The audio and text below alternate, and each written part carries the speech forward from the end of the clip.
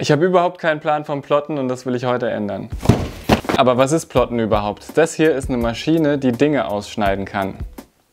Warum nimmt man dafür nicht einfach eine Schere? Naja, das Teil kann es halt sehr, sehr gut. Und mit dem ausgeschnittenen Zeug kann man dann Sticker herstellen, T-Shirts bedrucken und Schablonen herstellen. Alles Sachen, die ich sehr, sehr cool finde. Für alles, was da steht, habe ich ungefähr 500 Euro ausgegeben. Ob sich das am Schluss lohnt und ob das überhaupt wirklich so cool ist, wie ich mir das gerade vorstelle und ob das überhaupt leicht zu lernen ist, ich werde es in der nächsten Woche rausfinden.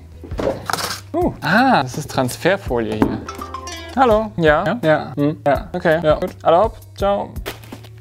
Hier habe ich bestellt bei Plotter Marie, war 40 Euro günstiger als auf Amazon. Versuch's so oft wie es geht, Amazon nicht zu unterstützen. Vor allem, wenn andere Shops einfach günstiger sind. Nicht gesponsert, by the way. Ah, das ist die weiße Rolle, okay. Ein Set Vinylfolie, Schneidematte. Irgendwann kann ich mich hier drin gar nicht mehr bewegen, ey. Oh.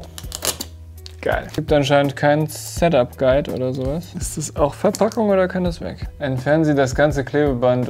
Uh. Uh, uh. Das ist ja schick. Der leuchtet hier so. Software ist am Start. Oh Mann, 118 Seiten PDF. Ich habe hier diese Vinylfolie. Das wäre schon mal das Material, das man für Sticker braucht. Das ist eine schön hässliche Farbe, mit der starte ich mal. Und jetzt gehe ich einfach mal hin und mache meinen Namen. Jetzt hole ich mir hier diese Matte raus. Lege ich mir das hier so da drauf. Ist ja auch nur erstmal ein Test. Und jetzt gutes altes Lernen durch YouTube. Geil. Ich habe keine Ahnung, ob ich das Messer, ich habe das auch irgendwo mal gesehen, dass man das irgendwo so reindrücken kann und so. Aber es heißt ja Automatikmesser, also müsst ihr auch automatisch, müsst ihr auch automatisch machen. Das Programm leckt so ein bisschen. Ein bisschen lahm. So, Werkzeug, Late, genau. Jetzt gucke ich mir mal an, was für Folien ich mir da gekauft habe. Nein! Mal habe ich hier einen Repeater und den habe ich ausgeliehen. Und jetzt habe ich hier so Kack-Internet. Ich brauche die Infos! Druck circa 7, okay. Geil, okay. Sieht so aus, als hätte der gar nichts gemacht. Man sieht schon mal nichts. Ich schicke es einfach nochmal los. Wow, das kann man wirklich gar nicht erkennen. Jetzt ist es natürlich Murks geworden. okay, okay. Und jetzt muss ich das hier rausfummeln. Noch mehr Folie. Das ist auch eine Folie. Sehr super, super verpackt. Noch mehr Folie. Werkzeug. Ist auf jeden Fall sehr, sehr schlechte Qualität, was ich hier bestellt habe. Das, das macht ganz guten Eindruck. Das hat hier viel zu wenig da reingeschnitten. Das sollte am besten nicht irgendwie im Dreck hängen. Nee, das ist irgendwie Murks. Scheiße. Gut, versuch es nochmal. Irgendwas stimmt doch an der Klinge noch nicht. Och Mann. Aber noch nicht so 100% Komm, ich lasse einfach nochmal rödeln. Das ist irgendwie strange. Das N ist super und die anderen beiden Buchstaben sind... geht so. Außerdem ist es doch eine Autoklinge. Gerade ein bisschen überfragt. Sieht auf jeden Fall so aus, als ging da ein bisschen was. Nee, es geht viel zu schwer, Mann. Oh, naja. Das N ist super und das... Oh, ihr... Ah, warum ist das N gut und der Rest... Okay, ich glaube, ich muss mich noch ein bisschen mehr reinfuchsen und hier mal aufräumen. Ich habe jetzt noch mal eine kleine Nachtschicht eingelegt und fünf Minuten recherchiert und direkt gemerkt, was mein Problem war. So sollte das Messer drin sein. So hatte ich das Messer drin. Ist ja klar, dass es dann nicht richtig schneiden kann.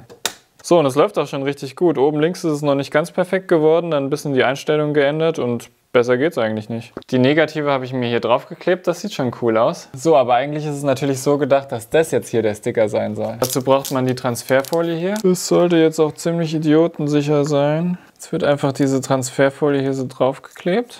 Dann wird es mit dem Rakel festgemacht.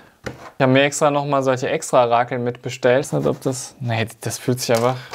Das ist einfach Schrott. Geil. So, jetzt habe ich hier meinen Sticker. Klar, wenn ich den jetzt mitnehmen will, dann lasse ich den einfach hier so dann halt drauf. Ne? Externe Festplatte. Gucken, dass es halbwegs gerade wird. Shit. Oh, ist ja scheiße, die Transferfolie hat viel zu viel Power. Ich will halt hier auch nicht so feste drücken, weil das halt eine externe Festplatte ist. Ich bin so stark, ich könnte die schon jetzt kaputt drücken, wenn ich jetzt nicht aufpasse. Alter, warum geht das so schwer? Das Problem ist immer, wenn ich hier drauf drücke, dann drücke ich ja auch die Transferfolie wieder da auf den Sticker. Okay. Tada! Das ist schon mal richtig cool. Ich finde es bloß voll schade, dass man so aufpassen muss, wenn man die Transferfolie runterzieht. Weiß nicht, ob die vielleicht einfach bloß zu stark ist oder so. Aber so in etwa habe ich mir das vorgestellt. Jetzt kann ich hier überall irgendwelche Schriftzüge und Zeug draufkleben. Das ist schon mal richtig nice. Aber mehrfarbiger Sticker und so, das mache ich mal morgen. Ich habe jetzt Hunger, ich habe noch gar nichts gegessen. Und zwar dachte ich, ich nehme einfach mal mein Logo und jetzt bin ich mal gespannt, ob das Programm mit Illustrator-Dateien klarkommt. Nein, Menno. Der Vorteil bei einer Vektorgrafik wäre halt, dass ich so unendlich groß skalieren könnte, weil da keine Pixel dahinter stehen, sondern halt mathematische Formeln, die die Form beschreiben. Speichere ich es halt einfach als PNG ab, was soll's. Wow, okay. da sieht man auch, wie hoch meine Auflösung ist, also gut. Und jetzt hat er das anscheinend direkt schon erkannt. So, jetzt brauche ich, ja, das war der jetzt schon wieder. Suche ich mir hier ein schickes Weiß raus. Ich weiß, streng genommen sind Schwarz und Weiß keine Farben, aber... Ist da Papier auf meiner Matte hängen geblieben? Ich guck mal, was die kosten, wenn die... Weil irgendwann ist, verliert die ja natürlich ihre Klebekraft. 15 Euro. Ist ja schon viel. Umso kleiner das ist, umso schwieriger wird es natürlich. Wenn es irgendwann zu filigran ist, dann geht gar nichts mehr. Das war Schritt Nummer 1. Jetzt will ich einfach bloß einen runden schwarzen Sticker, wo das Logo drauf ist. So. Klingt so ein bisschen wie der 3D-Drucker manchmal. Ein Ministück Transferfolie. Das Coole ist, die ist hier so leicht transparent, das heißt, ich kann mir das hier so anzeichnen. Geil, das klingt mal richtig gut, ey. Oder? Der Kreis ist ein bisschen zu klein. Jetzt bin ich mal gespannt, ob das jetzt besser runtergeht als gestern. Ah, ich glaube, ich habe auch einen Trick gefunden. Wenn man es so ganz flach abzieht, dann zieht man natürlich nicht so viel von dem Sticker unten drunter mit. Ja, geil. Mein erster zweifarbiger Sticker. Ey, und das ist sau gut geworden. Das, also, das ist halt voll die hohe Auflösung. Ja, den kann man schon mal auf seinen Laptop kleben, oder? geil, ich kann eigene Sticker machen. Hat jetzt so 25 Minuten gedauert, aber es war ja auch das erste Mal, dass ich sowas gemacht habe. Was natürlich nicht geht, sind so extrem filigrane und super mehrfarbige Sachen. Wenn ich mir hier zum Beispiel Bart Simpson angucke, der hat normal eine blaue Hose, ein rotes Shirt und ist gelb im Gesicht. Das sind jetzt noch nicht so viele Farben, aber der hat ja diese schwarze Outline. Ne? Und das hinzukriegen, das so genau da drauf zu kleben, dass das zusammenpasst, das ist ja unmöglich. Es gibt aber auch so Folien, die lassen sich dann im Farbdrucker bedrucken und die kannst du dann hier scannen und dann ausschneiden lassen. Habe ich mir jetzt aber nicht geholt, weil ich auch keinen Farbdrucker habe. so, dann gehe ich mal ins nächste Thema. Schablonen für die Graffiti-Farben. Das Material gefällt mir schon mal sehr gut, weil das so leicht transparent ist. Das heißt, wenn ich das irgendwo drauflege und dann drauf zu sprühen, dann sehe ich noch, was unten drunter so los ist. Aber das muss man jetzt ohne die Schneidematte da reinlegen, weil ich will ja durchschneiden. Ah, und jetzt kann ich hier, ah cool, jetzt kann ich hier einstellen, wie groß mein Gedings ist. Sieht doch gut aus. Und jetzt muss ich mich informieren, was das für Einstellungen braucht, das Material. So, wo habe ich das gekauft? Warum packen die nicht einfach hier so einen kleinen Zettel mit rein, wo die Einstellungen mit draufstehen? Oh Mann! Also man braucht Platz für so ein Teil, ey. Hm, naja. Aber manche Stellen gehen noch nicht ganz raus. Ist an manchen Ecken noch ein bisschen unsauber. Aber es ging jetzt so super schnell. Vielleicht habt ihr das Video gesehen, wo ich meinen Ikea Couchtisch aufgemöbelt habe. Da habe ich die Schablonen ausgedruckt und dann immer mit diesem Bastelmesser hier ausgeschnitten. Und da hätte ich für das jetzt locker eine Viertelstunde gebraucht. Und ich glaube, wenn ich hier mit den Einstellungen noch rumspiele, dann kriege ich das noch besser hin. Schablone, Voreinstellung. Probieren wir es mal so. Eieieiei. Oh, da geht ja gar nichts. Es wird nicht besser. Warum geht's denn jetzt nicht mehr? Das war ja der beste Versuch. Oh Mann, ich verstehe es nicht. Warum hat es beim ersten Mal so gut geklappt? Ich dachte, ich muss nur noch fein justieren. Klinge sieht auch noch okay aus. Zwei Stunden später und so circa 25 Tests später habe ich jetzt, glaube ich, endlich Einstellungen gefunden, die funktionieren. Nicht optimal funktionieren, aber sie funktionieren. Alter, ich habe mir gerade ausgerechnet, eine Folie kostet ungefähr einen Euro. Ich habe jetzt schon 3 Euro verschwendet. Messertiefe 2, Anpressdruck Maximum, Geschwindigkeit 2, Durchgänge 5. Ich verstehe es nicht. Okay. Was jetzt hier passiert ist, er hat zu gut geschnitten. Dadurch löst sich das Teil schon raus und dann stellen sich solche Ecken nach oben und dann bleibt er hängen, wie man es gerade gesehen hat. Ich habe das Design leicht größer gemacht und schon ist es wieder ganz andere Einstellungen. Aber einfache Lösung, ich mach's nochmal, ich verschwende übelst die Folien und mache halt nur einen Durchgang und wenn es dann, dann nicht passt, dann mache ich noch einen Durchgang. So eine Scheiße. So, das ist noch ein bisschen zu wenig. Das heißt, ich jag's jetzt einfach nochmal durch. Und jetzt noch ein Durchgang wäre mir zu riskant. Guck mal, das geht doch schon voll gut. Sehr gut.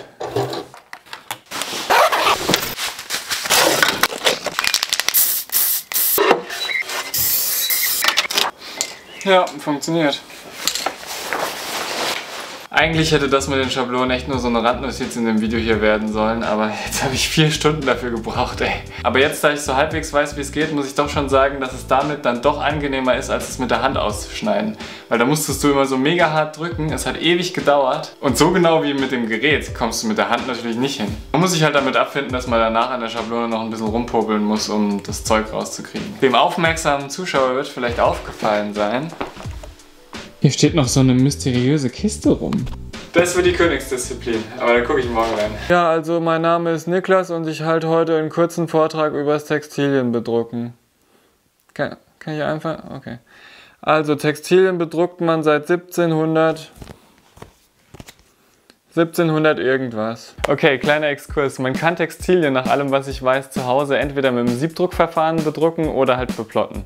Siebdruckverfahren ist eigentlich cooler. Pass auf. Ich habe mal so die ältesten Shirts, die ich zu Hause habe, rausgesucht. Das ist hier schon über 10 Jahre alt und das Ding ist einfach immer noch mega gut. Da wird die Farbe einfach durch ein Sieb auf das Textil drauf gedrückt. Deswegen Siebdruckverfahren. Die andere Art ist, ihr presst eine Folie auf euer Textil drauf. Die Folie verschmilzt mit dem Stoff und ihr habt euren Druck. Das T-Shirt hier ist früher mein absolutes Lieblings-T-Shirt gewesen. Ist jetzt auch schon über 10 Jahre alt und das wurde wohl damals mit dem Verfahren bedruckt. Man sieht hier, das ist der große Nachteil, das fängt irgendwann an so aufzuspringen und so rissig zu werden. Man muss aber dazu sagen, dass ich das bestimmt schon 200 Mal gewaschen habe. Und ich finde, es sieht fast ein bisschen gewollt aus. Also so schlimm sieht es gar nicht aus. Also man kann es noch tragen. Das T-Shirt ist sogar noch älter. Das benutze ich auch nur noch als Schlafshirt. Und da sieht der Druck sogar noch besser aus. Das hat einfach schon mega die Löcher und so. Also man sieht, wenn man eine gescheite Folie verwendet, dann hält es ewig. Problematisch wird es mit der Folie bloß dann, wenn ihr so ein großflächiges Design habt, weil dann habt ihr so eine komische, steife Schicht auf der Brust, die euch da so rumwabbelt. Aber auch hier, das Shirt ist einfach von 2006 und der Schriftzug ist noch voll in Ordnung. Und ich trage das auch noch so als Unterhemd und so.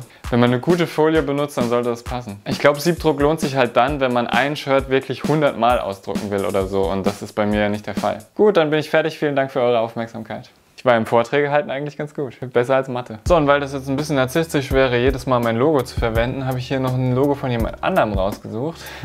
Das ist das Haare Nice Sockenfly Logo von meinem Lieblingsrapper aktuell, Dexter. Nachzeichnen. Geil! Das ist echt cool gemacht, das geht echt einfach. Dann sollte das die Folie hier oben sein. Okay, fühlt sich direkt ganz anders an. Muss man irgendwie gucken, was oben und was unten ist. Also man soll das hier an der Ecke so ein bisschen aufziehen und dann hat man eine durchsichtige Seite und eine nicht durchsichtige Seite, logischerweise. Das ist die Seite, die man schneiden muss. Jetzt haben die wieder nicht dazu geschrieben, welche Einstellungen die zum Schneiden verwenden. Und auf der Website steht auch nur, welche Einstellungen die verwenden zum Pressen. Toll. Ich nehme jetzt einfach mal hier die Standardeinstellung für Flexfolie.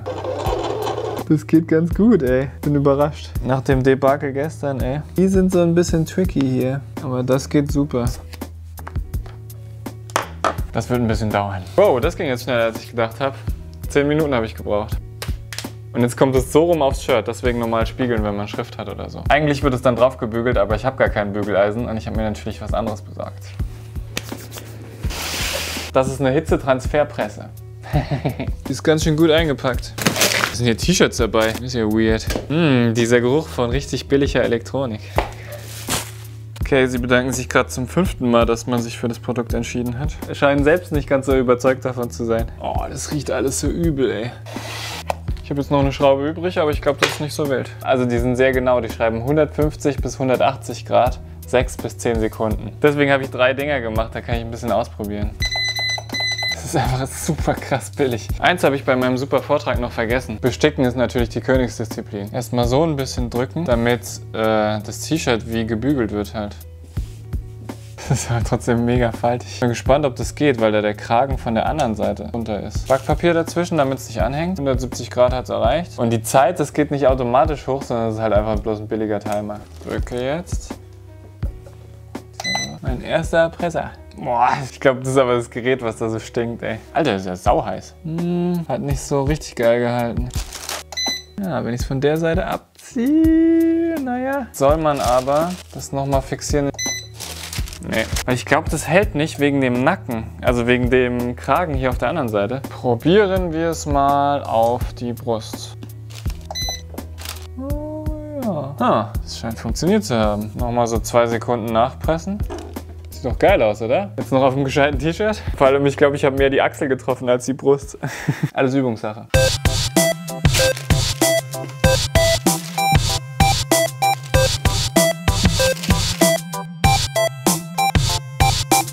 Ey, ich finde, es sieht richtig gut aus. Jetzt gefällt mir die Farbe sogar. Und ich bin auch erleichtert, dass man nicht so viele Tests braucht, weil stell dir mal vor, du würdest das jetzt auf ein gutes T-Shirt draufdrucken und dann wird's nichts und dann hast du ja dann das ganze T-Shirt versaut. Ich werde aber auf jeden Fall immer erst auf ein altes Stück Stoff drucken und dann gucken, ob es funktioniert. Ich hätte euch noch gern so viel mehr gezeigt, aber es war einfach so eine stressige Woche. Ich habe gestern noch bis um eins geschnitten. Ich werde auf jeden Fall noch so eine Art zweiter Teil machen, weil ich ja jetzt alle Themen nur so ziemlich oberflächlich angegangen bin. Aber ich bin mit den Ergebnissen schon mega zufrieden, ey. Der Sticker sieht voll geil aus. Das sieht cool aus. Natürlich die Frage, wie viel Wäschen das jetzt aushält, aber es gibt wohl Folien, die sind so gut, die halten wie bei gekauften T-Shirts. Ich zeige euch mal mein Zimmer hier. Seht euch diesen Saustall an, ey. Ich hätte vielleicht zwischendrin auch mal aufräumen sollen, glaube ich. Beim letzten Mal habe ich euch mein Fahrrad gezeigt. Janis schreibt, die Gegend ist voll schön. Ja, das kann ich bestätigen. Ich wohne hier echt voll gern. Ob ich mal Geocaching ausprobieren kann, steht auf meiner Liste. Ich muss bloß noch ein Programm finden, mit dem man sein Handybild aufzeichnen kann. Also wenn da jemand eine Empfehlung hat, gerne in die Kommentare schreiben. Ich habe ich hab ehrlich gesagt noch nicht gesucht. mit einem habe ich noch geschrieben, der hat sich das Rad gekauft und erst dann mein Video gesehen und freut sich jetzt noch mehr aufs Rad. Cool, sowas zu lesen ist echt witzig. Okay, ich moderiere jetzt mal ab, sonst habe ich noch mehr zum Schneiden. Bis nächste Woche.